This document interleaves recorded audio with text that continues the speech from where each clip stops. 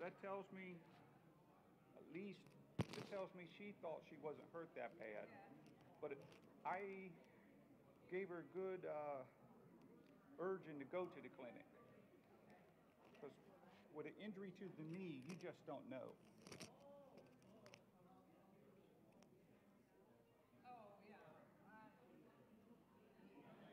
You know what I mean? You just, too much in there that can be messed up.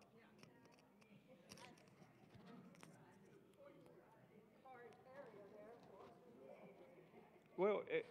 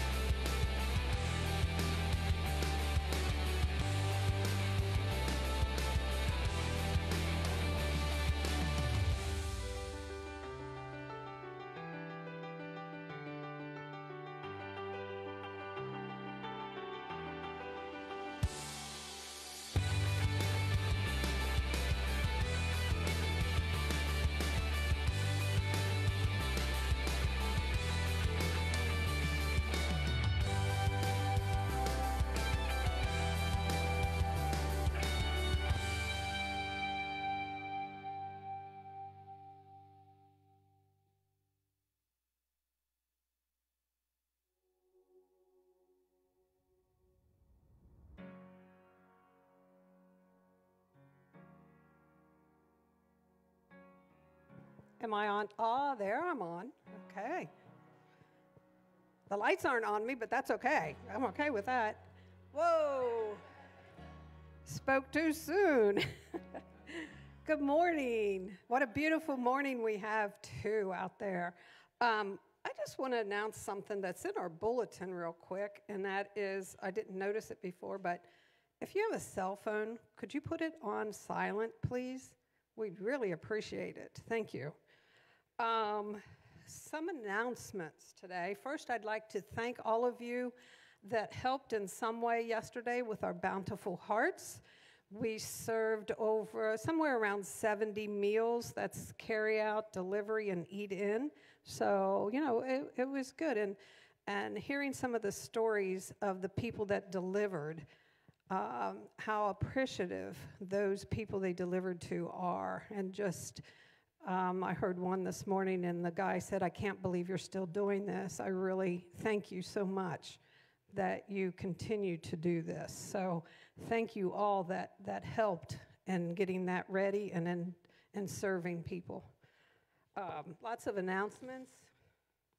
You can see some of them up on the screen, there are some in your bulletin. Um, Number one announcement I'd like to make real quick is we will not have Karen with us today. as yesterday, um, her ram decided to use her as a battering ram.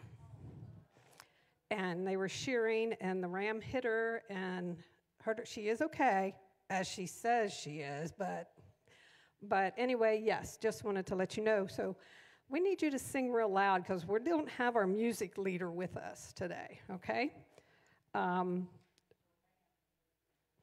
Charge conference is on May 11th at 6:30, followed by the SLB. This conference is to vote. Duke Energy is looking at a piece of our property at the back that we really can't use a whole lot, and they need it for access back there. So we're voting on that on May 11th. So if you have any questions, come out that night because I can't answer any of them because I don't know a whole lot about it. I just know that they're looking to purchase that property. Uh, please, the cards in front of you in the pockets on the chairs, uh, that's our information and prayer cards. So if you could fill those out, especially if you're visiting with us, we'd love to know, you know, how you came to stop by to, to join us. And if you have any prayer concerns, please write them on there your prayer team prays for them, the minister prays, and, and then they get sent out also in an email. Um, speaking of prayer, National Day of Prayer happens May 5th, which is also Cinco de Mayo, but skip that. Um, at noon to 1, it is a Zoom and it will, will be live, so you can watch it live uh, on Facebook, but then you can also watch it later on because then it will be recorded. So if you don't get a chance to watch it, you can watch it um, later on on uh, Facebook and possibly on our church uh, Facebook or website. Um, okay, is there anything else I'm missing? Oh, we do are in need of some people to help out in the nursery please, please. So, I mean, Kim goes in there almost every time we have one for in the nursery, and we'd really like to have someone else, you know, take turns going in there. We don't always have someone for a, a child in the nursery, but when we do, we do need to have a couple people available for that. And also, the cafe is in need of help setting out food and things. So, um, if you could do help out with that, that would be great. See Trish. And then on May 22nd is the sold out conference. That is not that it is sold out, that is their name. S O U L apostrophe D out. That's their name. So it's it's open to the public. Please come out and enjoy that time together, just listening to to this uh, group. They're a gospel, Southern gospel, so come join us. And I think that's it. I think Robin's got something.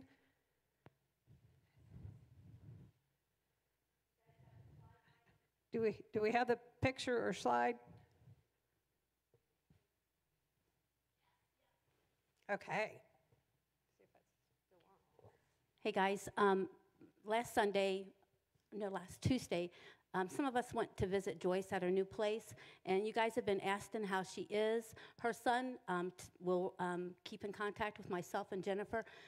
Joyce is doing phenomenal, you know. Um, she was her old self. I don't know if you guys had talked to her lately, but she was very confused. And Tuesday was such a blessing that when we left there, we almost felt like crying because it was the old Joyce. Such a beautiful place. Um, her birthday is next week. She's going to be 94 years old. And Jennifer has her mailing address and a phone number. If you guys want to give her a call, she would so appreciate it. Okay. So if you will join me, let me put my glasses back on. In our call to worship, please. And stand, please, if you can. O oh Lord our God, we praise you.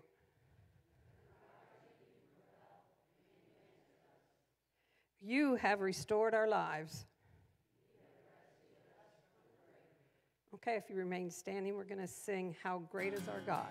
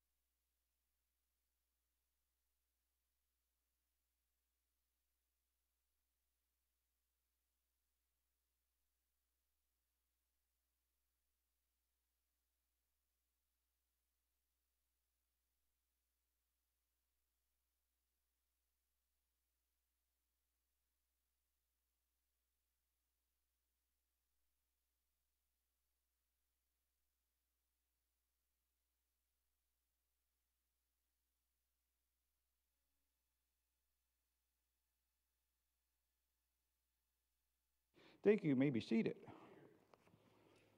I'm going to invite the children to come down if they would. Um, I know we have some children present here today.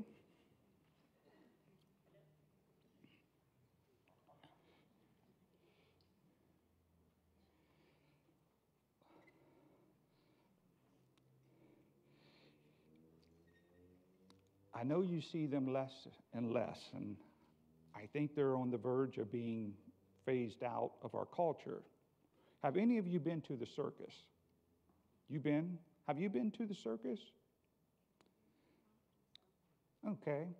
Well, it's being I think it's kind of being phased out, the circus. Circus is a place where all of these uh, performers come together and do amazing stunts. Uh, one of the things they're most famous for is often you'll see one guy, who's not very smart, by the way, uh, in a closed up cage with about six hungry lions. You know, that's the, and then the other thing you, you'll never forget if you get to see this is the flying trapeze. The flying trapeze. Um, oftentimes,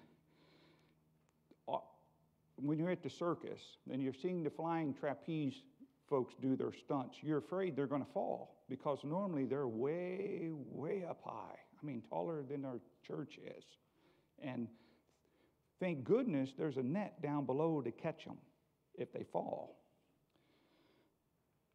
Well, um, I used to wonder how could they get up there and do all the stuff they do without being paralyzed by their fear, you know, of, of falling. And at some time later, um, we were able to talk to some flying trapeze artists uh, behind the scenes, and they told us how they b- became as good as they were. And they had a little, wa- a little cable about one foot from the ground, and they practiced a lot of their stunts, starting off one foot from the ground, then, the, then they go a little higher and a little higher and uh, what, they, what they do is they fail enough that they actually gain confidence in the net below. That once you've fallen a few times, the fear of actually falling kind of goes away because you, you know there's a net down there going to catch you. And so instead of being focused on their fear, they're up there doing all of these stunts, doing uh, flips through the air and uh, walking on high wires and, and all of this stuff. Um, but the thing was, they learned that the net was strong enough. And the result of falling and being caught, of course, let them get confidence. And as they gained their confidence, they would, they would do more and more. And, you know, that's one of the benefits of failure. Uh, that's one of the benefits of failure. Sometimes the more faith you have, the less you have to worry about worrying. And as Christians, sometimes we fail, and sometimes our prayers don't get answered. Sometimes things don't work. But at other times, you are able to look back and say, things didn't go well as I planned, but God worked it out anyway. And often we find that to be the case uh, in the church. And the Bible tells us that our God is the one with everlasting arms. There's a song, Leaning on the Everlasting Arms, and that's what that means. So when you fall, know that there's a God there who catches you. And that's important in the Christian life because when we fall, we learn about the grace of God that we can depend on it. So don't be afraid to, to, to try great things for God. Don't be afraid to pray for other people's healings. Don't be afraid to pray for miracles uh, for other people or for yourself. You know, people say, well, what if it don't work? Well, what if it does, right? And the Bible says that with God, nothing is impossible. So you can't go wrong trusting in Him. Uh, let's pray. Lord, we thank you for the children in our church today. We ask, God, that you will uh, grant them to know your love and your presence in their lives through their experience.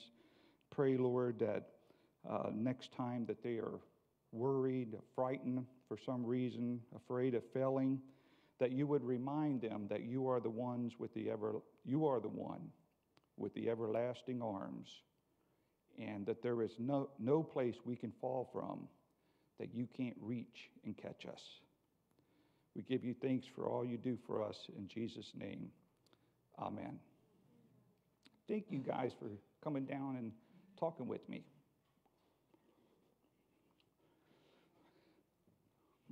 And I want to tell the kids, uh, talking to the kids, oh, the kids are leaving. Okay.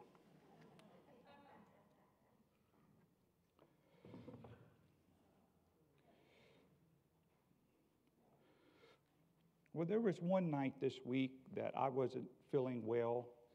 I can handle pain in different places in my body and, and, and manage it, uh, but there's something about stomach pain that gets to me, at least. Um, I've often had some of the worst pain, I think, in my life in my stomach.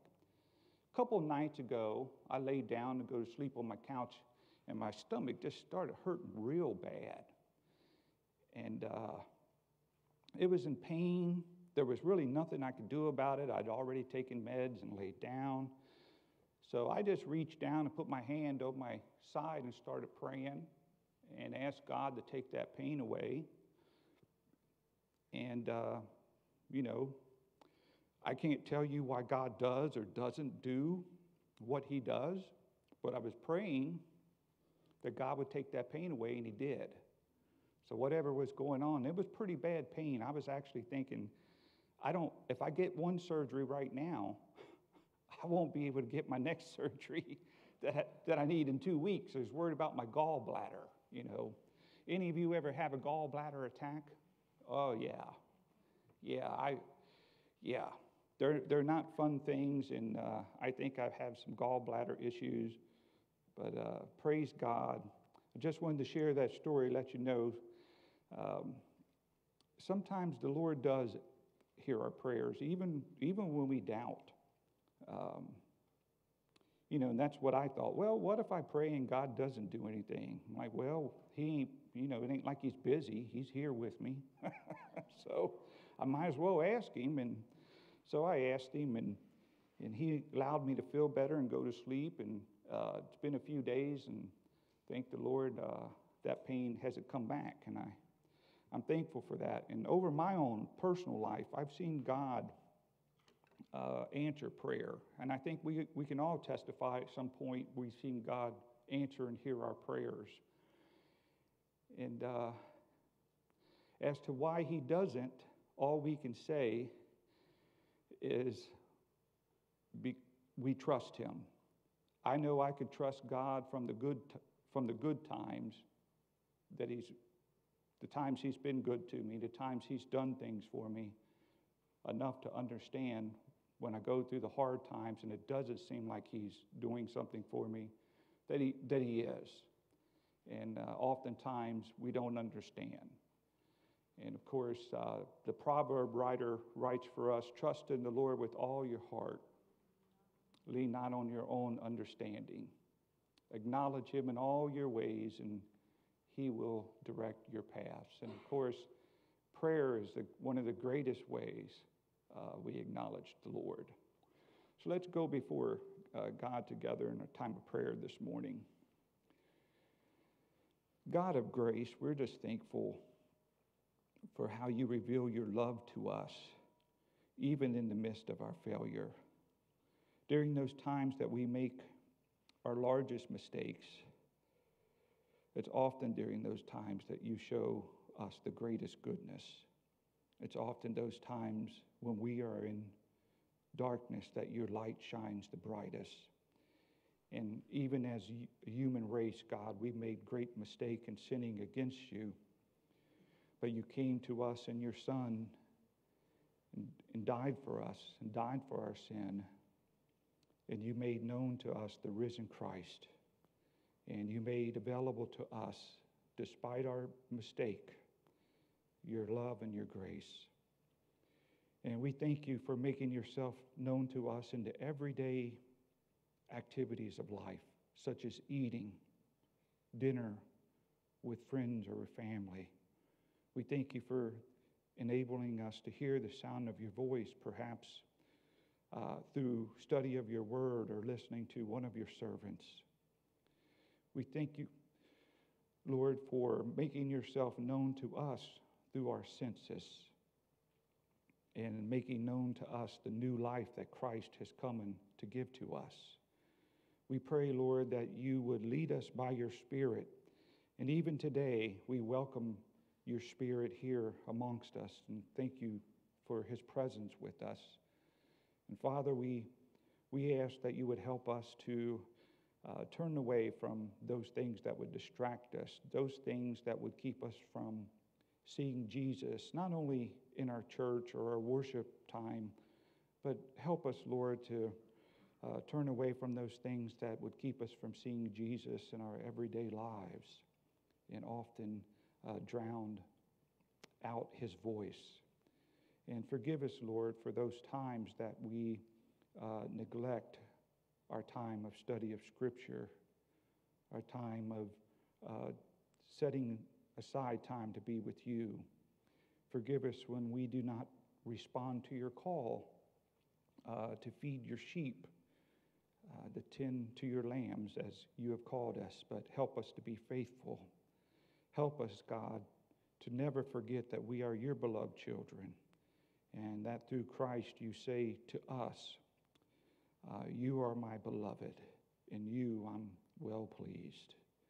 We pray, God, today clothe us with the same joy that you clothed your Son with, the joy that was his strength through his trials and his temptations. Let us be clothed with that same joy.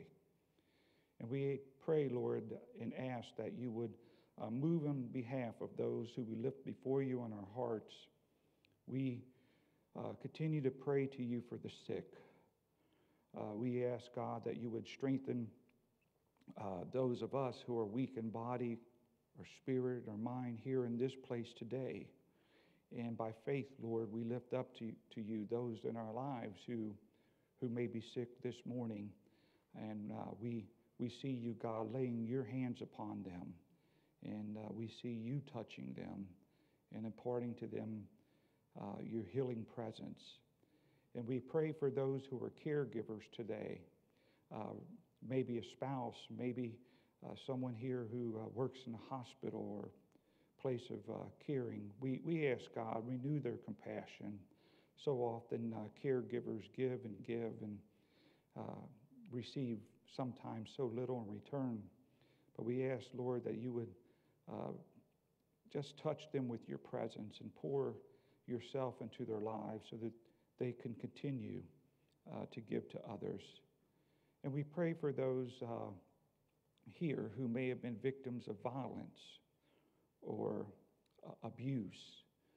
Um, we pray, God, that you would um, bring healing to hearts and minds and enable, enable those who are brought down by these things to be made free we pray for families that may be in conflict. We, we pray, God, for peace in our families. And we pray for those in our families who do not know Christ. Uh, we ask God in some way uh, that we may be a light for them. We pray for those who, who uh, may be in prison or incarcerated at this time. Uh, God, we know that good people make mistakes. And uh, Lord, we lift, uh, we lift these people up to you by faith this morning. And we pray, as so often you, you did in Scripture, that you would visit them even uh, in this place of incarceration and make yourself known to them. We pray for those, God, who struggle with drug addiction. Lord, the, uh, the enemy uses uh, this in such a powerful way right now to draw so many of us away, away from you. We pray, Lord, that you might um, that you might bring an end to the drug smuggling into our our nation, our community, and uh, we pray that our family, our friends, those who are bound by um, terrible, rotten thing of addiction, uh, that you would set them free. And we pray for us, God, uh, maybe we're not addicted to a street drug, but we are addicted to other things in our life. Uh, we look to you, Lord, and pray uh, that you would free us from those things uh, that ultimately keep us from living in the joy that you have for us. And God, we quiet our hearts before you this morning. We trust that your Spirit uh, is in our midst and that He prays uh, through us and on our behalf today.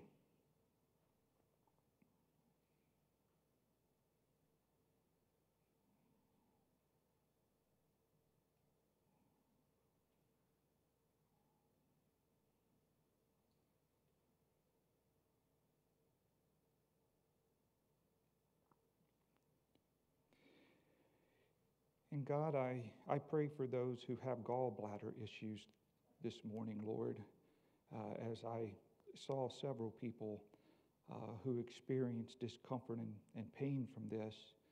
Um, God, I know you don't waste any experience uh, in our life.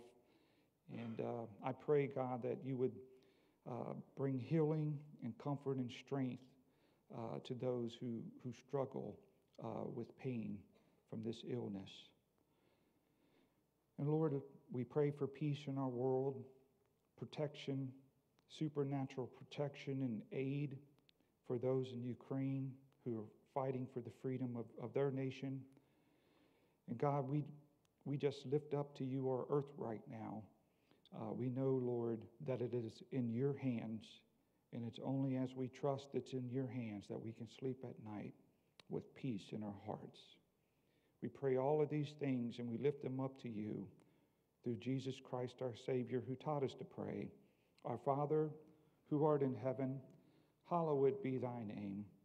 Thy kingdom come, thy will be done.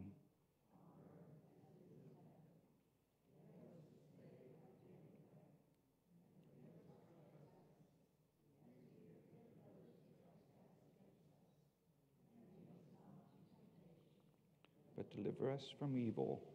For thine is the kingdom and the power and the glory forever. Amen. If you join us uh, this morning by way of computer, we want to remind you as we take up our offering today uh, that you can go to our church website page. There's a tab that you can click on. Uh, just click on that tab, follow a few simple instructions and uh, you can make a gift to our church. And we just want to say thank you for supporting our ministry here. Uh, we can never give out God our faith. We can never get outgive our faithful God, and we give to Him not out of duty, but out of joy and delight, acknowledging the good things that He does for us.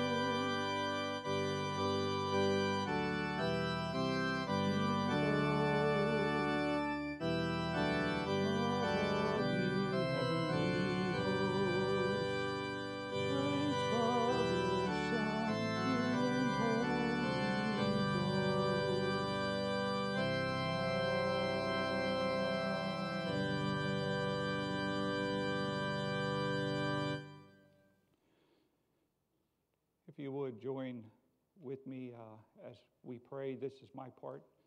Gracious and kind Heavenly Father, we praise you for raising our Son, your Son, and our Savior Jesus Christ from the dead. With joy, we witness the miracles that you continue to perform even during our day through the power of your Holy Spirit.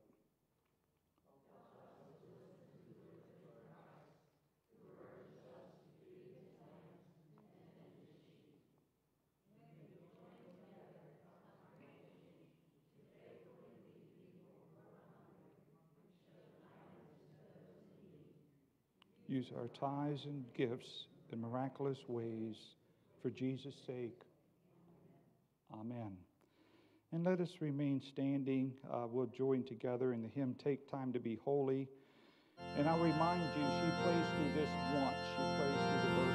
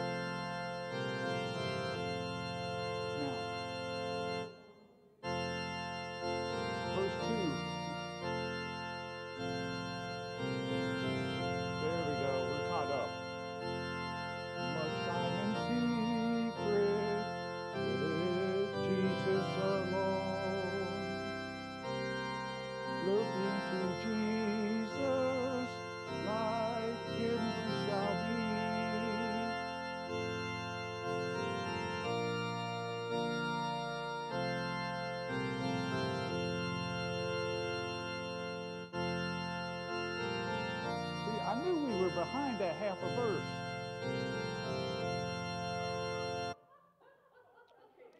All right.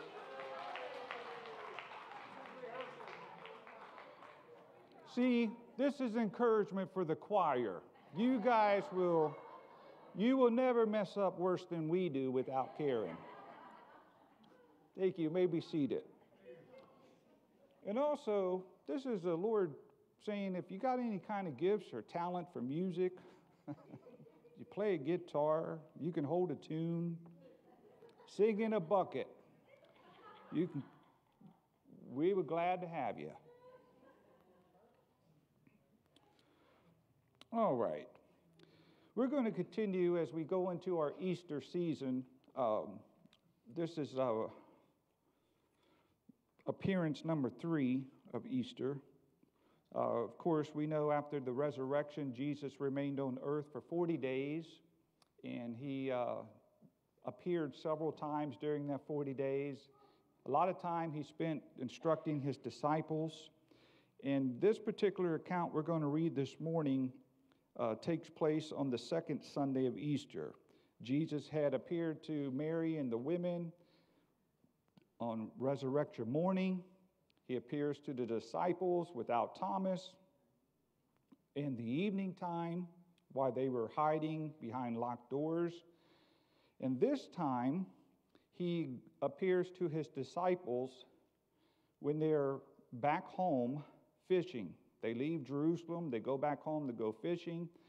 And if you're going to record anything, this passage very much mirrors Luke chapter 5. And Luke chapter 5 is the recording when Jesus first met the disciples and the first time he called them. They were fishing. And a very similar miracle happens there as happens here. So I believe this is another call story. At the first call, they were fishing, they have a miraculous catch. I think in this text we find the disciples depressed, discouraged. I think they've kind of maybe given up a little bit. And uh, we know Peter was especially discouraged. And uh, the disciples go back home, and I, I think they're really, they're really debating on giving it up. And uh, the Lord comes and re- gives them a whole nother call story, takes them right back to the very first time he called them. Uh, so if you, if you have time to read those scriptures and compare, you'll, you'll see a lot of uh, comparison there. So I'm going to read for us from John 21. After these things, Jesus showed himself again to the disciples at the Sea of Tiberias. And of course, that's Lake Galilee. Tiberias is another name for Lake Galilee. And this is how he showed himself. Simon, and there's seven who are named here, we're told of here Simon Peter, Thomas, called the twin, Nathanael of Cana, the two sons of Zebedee, and two other of his disciples were together. Simon Peter said to them, I'm going fishing. They said to him, We're going with you also. So they went out and immediately got into the boat, and that night they caught nothing. But when the morning had come, Jesus stood on the shore, yet the disciples did not know that it was Jesus. Then Jesus said to them, Children, do you have any food? They answered and said to him, No. And he said to them, Cast the net on the right side of the boat, and you'll find some. So they cast, and now they were not able to draw it in because of the multitude of fish. Therefore, that disciple whom Jesus loved, this is John speaking of himself, the disciple John said to Peter, It is the Lord. Now, when Simon Peter heard that it was the Lord, he put on his outer garment for he had removed it, and he jumped into the lake. But the other disciples came in the little boat, for they were not far from land, about a football field length from land, and they were dragging the net with fish with them. Then, as soon as they had come to land, they saw a fire of coals there and fish laid on it. The last time Peter denied Jesus, there was fire, remember? They saw a fire of coals and fish on it and bread, and Jesus said to them, Bring some of the fish that you've caught. Simon Peter went up and he, dragged that net to land, full of large fish, 153. He had to be a strong guy to do this by himself. And although there, there were so many fish, the net wasn't broken. Jesus said to them, Come and eat breakfast. Yet none of the disciples dared ask him, Who are you? knowing it was the Lord. Jesus then came and took the bread and gave it to them, and likewise the fish. And this is now the third time Jesus showed himself to his disciples after he was raised from the dead. So when they had eaten breakfast, Jesus said to Simon Peter, Simon, son of Jonah, do you love me more than these? He said to him, Yes, Lord, you know that I love you. Jesus said to him, Feed my lambs. Jesus said to him again a second time, Simon, son of Jonah, do you love me? Peter said, Yes, Lord, you know that I love you. Jesus said to him, Tend my sheep. He said to him the third time, Simon, son of Jonah, do you love me? And Peter was grieved because Jesus said to him the third time, Do you love me? And Peter said to him, Lord, you know all things. You know that I love you. And Jesus said to him, Feed my sheep. And then Jesus here gives a prediction to Peter regarding how he would die. Most assuredly, I say to you, when you were younger, you dressed yourself and you walked wherever you wished. But when you are old, you will stretch out your hands, and another will dress you and carry you where you do not wish. This Jesus spoke, signifying by the type of death Peter would bring glory to God. And when Jesus had spoken this, he said to Peter, Follow me. Let us pray. Holy God, we ask that you would speak to us your truth this morning. We pray, Lord, that in some way that you would open up the eyes of our hearts, enable us to see you from them and to know that you are here. We pray that you would feed us that bread that only you can give. In Jesus' name we pray. Amen. So we come to the text today. You remember Jesus was crucified outside of uh, Jerusalem. Jerusalem was 70 or 80 miles from Galilee. So, sometime between the resurrection of Jesus and this fishing scene, the, dis- the disciples went back home 70, 80 miles. They went back home. They probably had family to care for, business to take care of. So, they go back to the Sea of Galilee. And apparently, they get back there to the same nets, the same water, and they decide to do the same kind of work that they were previously doing when Jesus first called them. Jesus first called them, they were fishing, and he said to them, Come and follow me, and I'll make you fishers of men instead of uh, fishers of fish in the water. Also, they went back to Galilee because the, the angel had told them to go ahead to Galilee in Matthew 28 and said that you're going to be instructed there. And as I was saying, I believe at this point the disciples were still downhearted, they were discouraged. They were probably on the verge of maybe be, being ready to quit.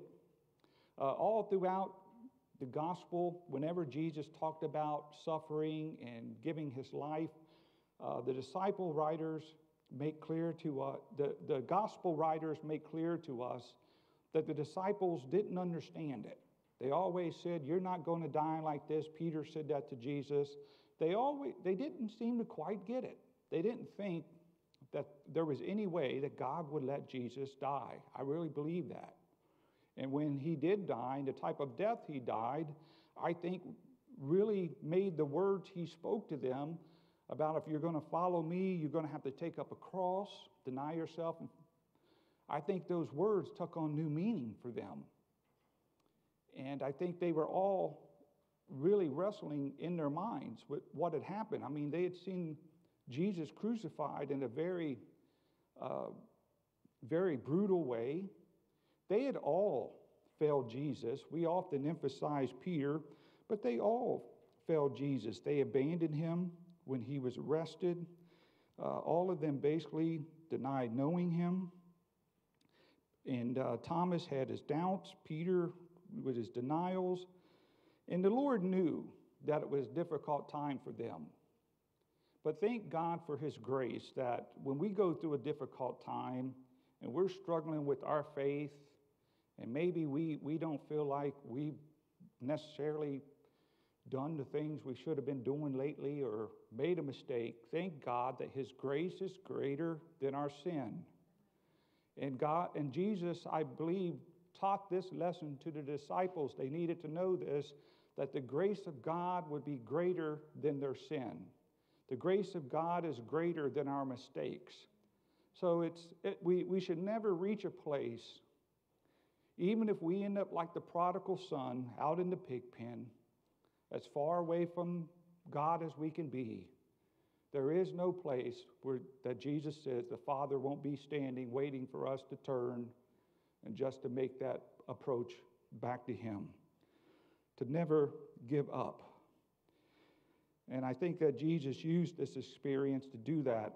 And I, I also think that this experience teaches us that the Lord comes to us in the regular day, everyday events of life. They weren't in synagogue, they weren't in a temple, they weren't having a prayer meeting. Nothing's wrong with those things. They all have their time and place. But I think so often we, we, we believe wrongly that the Lord only meets us in those places. When in all actuality, this whole earth is his temple. This whole earth is his synagogue. He fills this whole earth. His presence is everywhere. And no matter where we are, even in a jail cell. His presence is there, and if we acknowledge Him and call upon Him, worship Him, we can do so with faith, knowing that He's there. And through Scripture, we see that He's a God who, who shows up, especially, uh, especially when we fail. He's a God who shows up and gives grace to us. I think at this time, the disciples went back out, partly thinking if we have a good fishing night, we're going back to fishing. You know, I think they, they went back out and said, we'll give this another try. And if we have a good night, this is going to be our sign. We're going back to fishing business, to what we know. And of course, they had a bad, they had a bad night, and they were trusting in their own plans. They had come up with their own plans. They were trusting in their own strength, you know, getting all the stuff together. But as I mentioned before, trust in the Lord with all your heart. Lean not on your own understanding. And oftentimes, especially in our time in which we live today, and I'm not saying not to think things through or not to use your brain, but I, but I am saying that oftentimes what we think we know gets in the way of God. Sometimes God calls us to do things or leads us a direction that logic is never going to be able to, to jump that leap. It's never going to take that leap. But if you know that the Lord has called you, you have to take that leap relying on Him, knowing that He can make it work, whatever it is.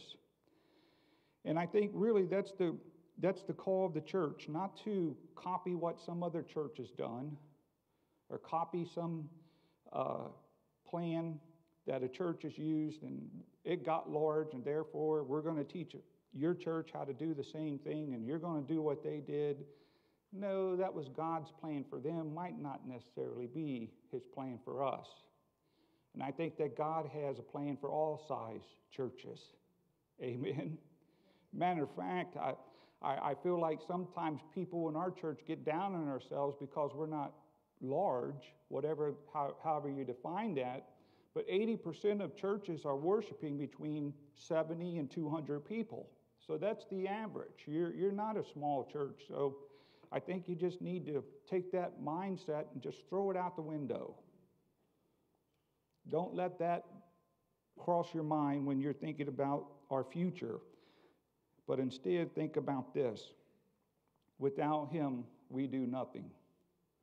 They fished all night without Jesus. They were probably thinking about leaving Him. Without Him, they could do nothing. But then on the other hand, Jesus shows up. He shows up, and, and even when he shows up, they had to have some faith because they couldn't quite make out if it was him or not.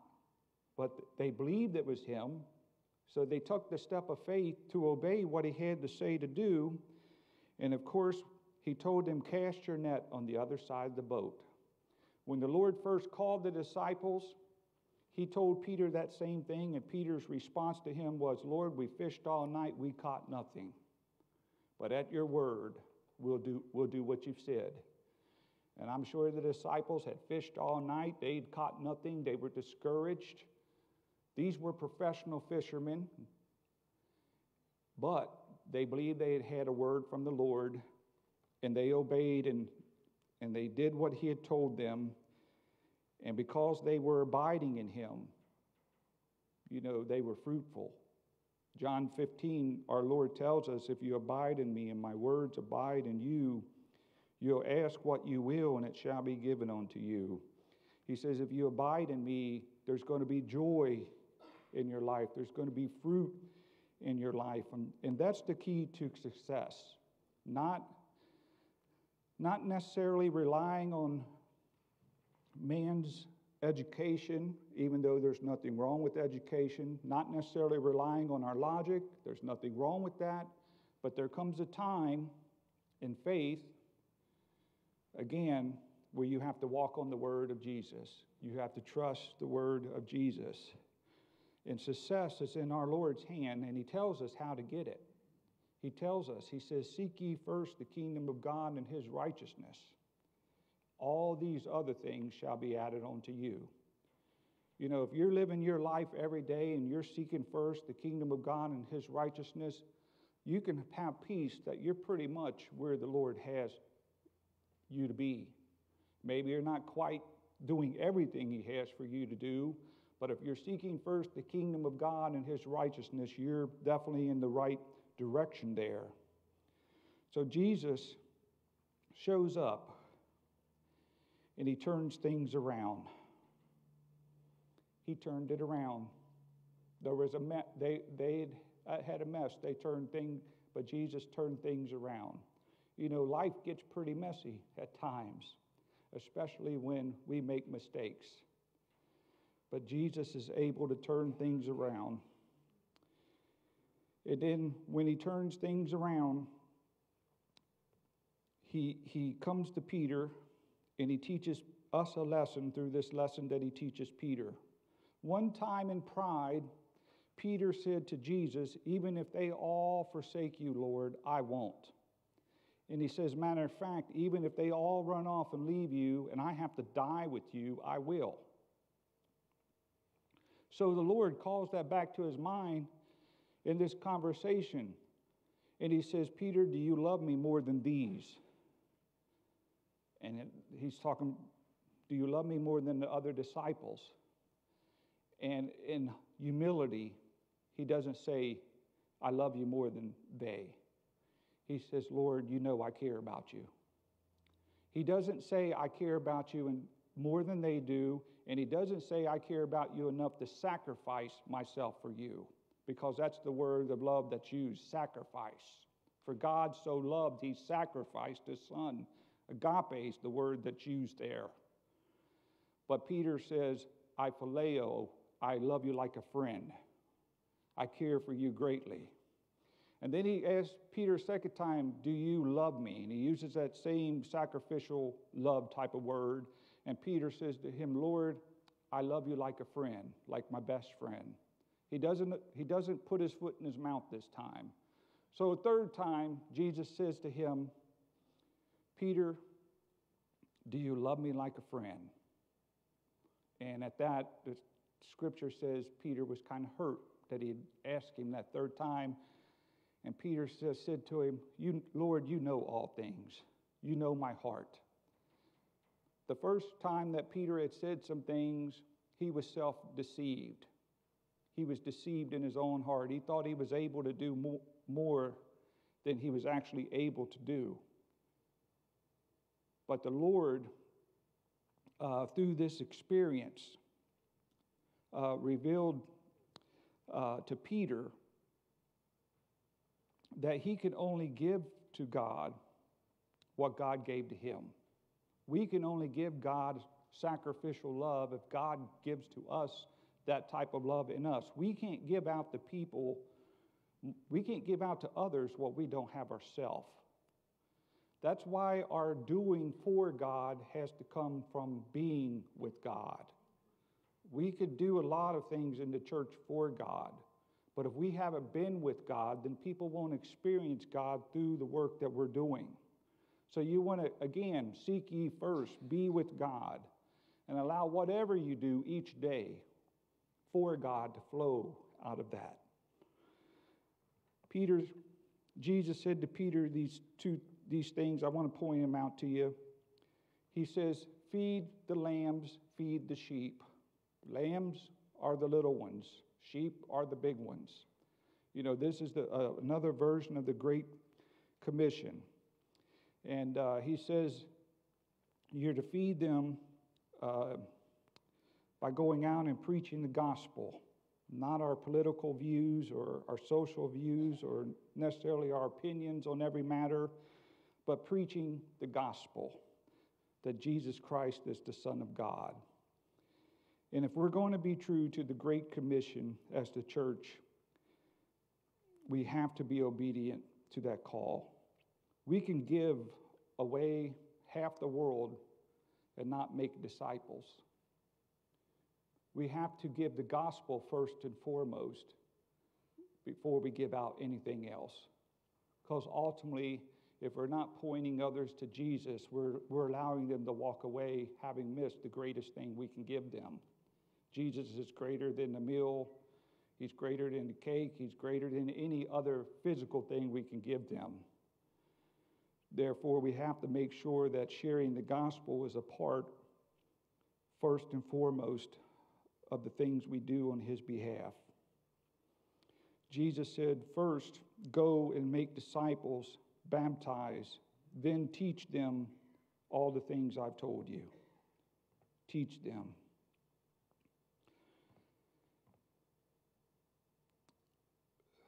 Hundred and fifty-three fish. They counted those fish. There's all kinds of opinions on what that 153 number meant. I came across one that I think holds a little bit of water. At that time, the Greeks thought there were 153 different kind of species of fish in the sea. So when they caught that net, when they got that net and they pulled it in, they saw all those different species. It was a physical picture of them going out and making disciples of all nations from every tribe, every tongue, every race.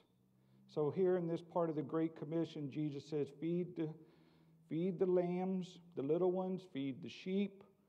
Uh, go out, take the gospel to, to everyone, make disciples, don't leave anyone behind. And you know, the gospel message is a message that the world still needs. It needs it. Even if it don't want it, it needs it. We have a message the world needs, and it's not a Baptist message or a Catholic message or Pentecostal message, but it's the message of Jesus Christ's death, burial, and resurrection, the Son of God for our sin. And when the church presents that message, no matter where it's presented, it will result in changed lives. And hopefully, it's resulted in yours and mine first and foremost. I have faith in that message. I know what it's done for me, I know what it continues to do for me, and hopefully, you have faith in that message. You know what the gospel's done for you. And all the Lord asks of us is to share that message with others. Don't try to give what you don't have, give what the Lord has already given you. Let us pray. Holy God, it's easy for us to get caught up in trying to do your work in our own minds, our own ways, and not seek your guidance the way that we should. We pray, God, that you would help us to seek your face first. Help us to seek to know you first in all things so that we can walk in your ways, so that we can know you're, you're directing our paths, so that we can hear your still small voice. And we're just thankful, Lord, that you're God who turns things around. You took an empty boat in an empty net and you filled it full. And God, today we bring our emptiness to you. We bring empty hearts to you.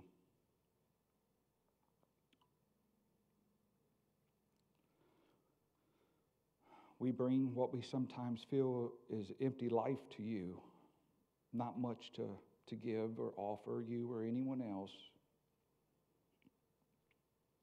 We offer our, our church to you. It's your boat, it's your net. We pray, God, that you would take and use it to fill it with fish, additional fish besides us for your kingdom. We pray this in Jesus' name. Amen. Thank God he's caught us in the net so far. And we're a part of that kingdom. On the night that our Lord would give himself up for us, of course, we remember that he took bread and he broke it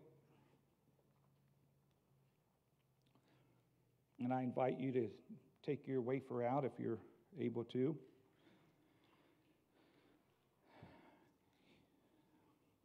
You can go ahead and break it and look at it and hear these words of Jesus as you do, as he speaks to us. He says to us, This is my body, which is broken and given for you. Take and eat.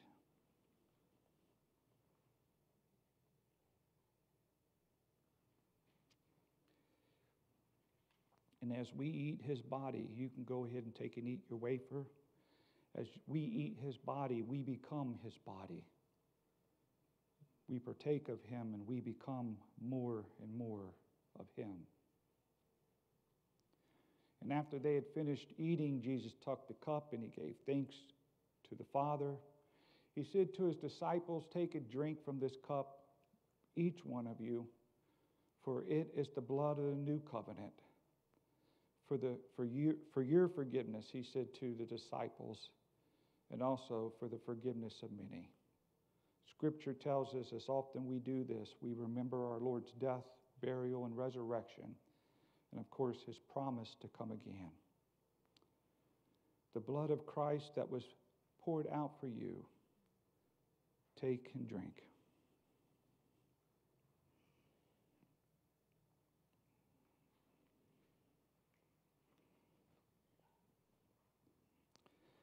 If you would, would you stand and lead us in prayer?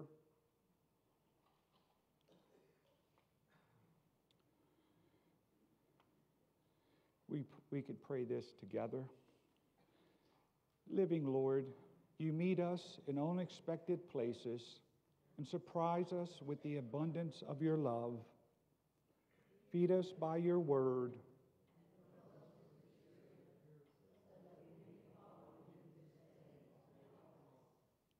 through Jesus Christ, your Son, our Savior.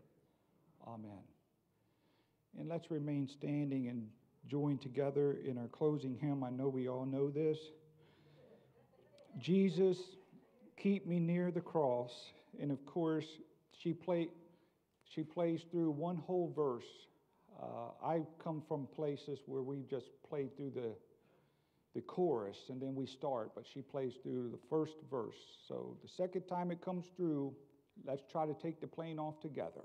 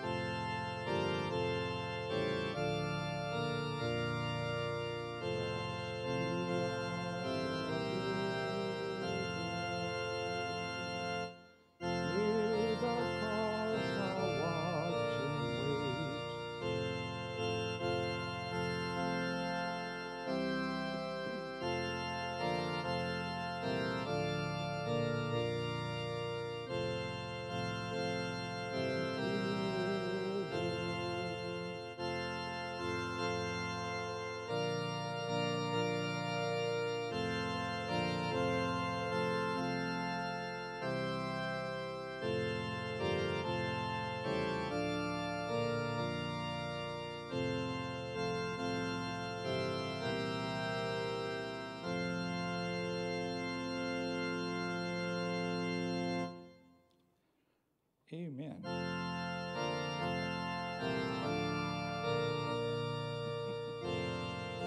Higher powers here.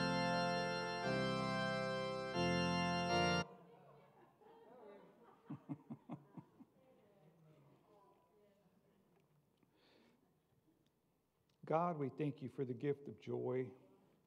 We thank you, Lord, that uh, you, you have a sense of humor, that you're able to bring joy uh, to our hearts and uh, every time, and no matter what the place. And especially, we thank you for giving us joy here in your house. Now, may the love of God our Father, the peace of Jesus Christ, our loving Lord and Savior, and the fellowship of God's Holy Spirit go with you now and be with you forevermore. Amen.